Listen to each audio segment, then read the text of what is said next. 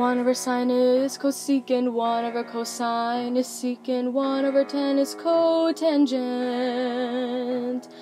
1 over sine is cosecant, 1 over cosine is secant, 1 over tan is cotangent. When you find the reciprocal, S becomes C and C becomes S. Therefore, 1 over sine is cosecant, 1 over cosine is secant, 1 over tan is cotangent.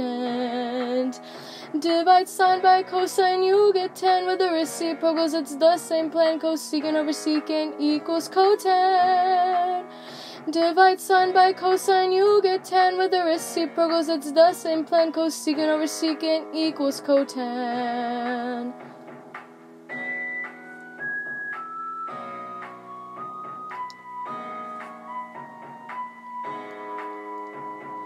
A squared plus b squared equals c squared. That is the Pythagorean theorem relating the sides of a right triangle. But when you divide all sides by c squared and refer to the reference angle, a over c is sine of x and b over c is cosine x and c now equals 1. Therefore, sine squared x plus cosine squared x now equals 1.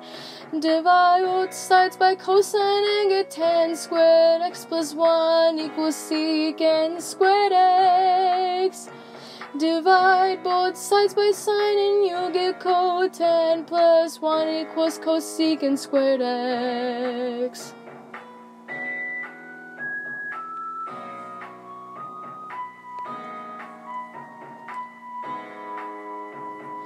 Double angle of sine is 2 sine times cosine. Double angle of cosine has three different types.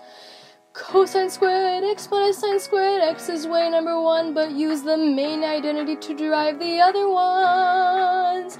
Replace cosine squared x with 1 minus sine squared x and you get 1 minus 2 sine squared x.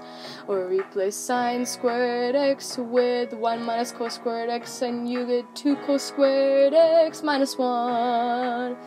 Double angle of tan is a complex fraction to tan over 1 minus tan squared x. Double angle complex fraction to tan over 1 minus tan squared x.